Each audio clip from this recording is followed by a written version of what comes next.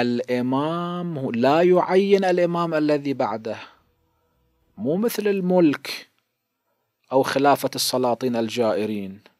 يجي الخليفة بكيفه يعين وليا للعهد. هارون العباسي عين ثلاثة أولاده بالتدريج. عين الأمين آه، ثم المأمون ثم المؤتمن. زين.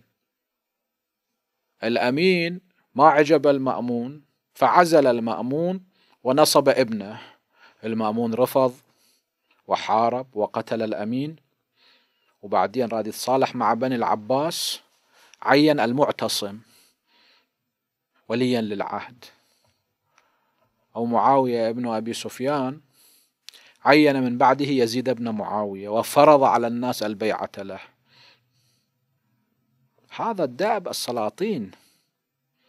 أما بالنسبة إلى الأنبياء والأئمة لا يوصون إلا من أمرهم الله به. يوصي أن يكون هذا من بعدك نبيا أو من بعدك إماما. قد نبي من الأنبياء يقترح.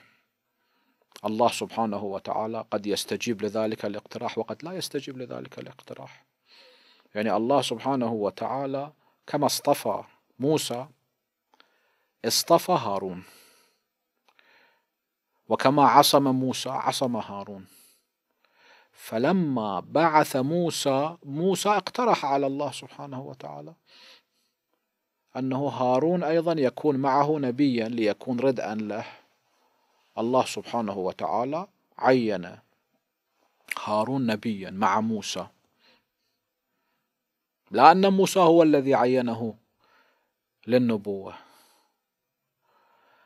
الله سبحانه وتعالى هو الذي أراد أن يكون علي بن أبي طالب عليه السلام الإمامة من بعد رسول الله صلى الله عليه وآله. ولعظمة هذا العهد الله سبحانه وتعالى ما بلغ الرسول بذلك عن طريق جبرائيل.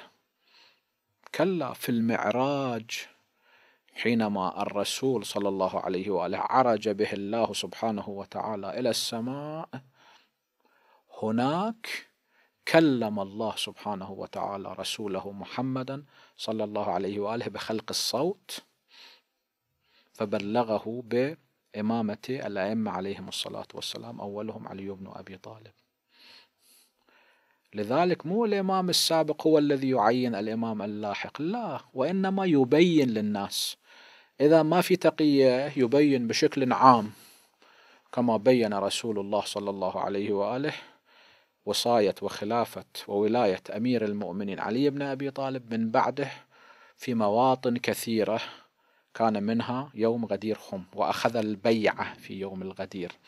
الفرق بين يوم الغدير وسائر الأيام أن في سائر الأيام مثلا في منى في نفس السنة في العام العاشر من الهجرة بلغ الناس.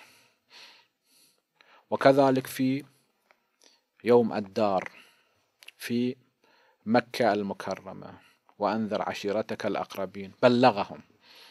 وبينهما أيضا بلغ.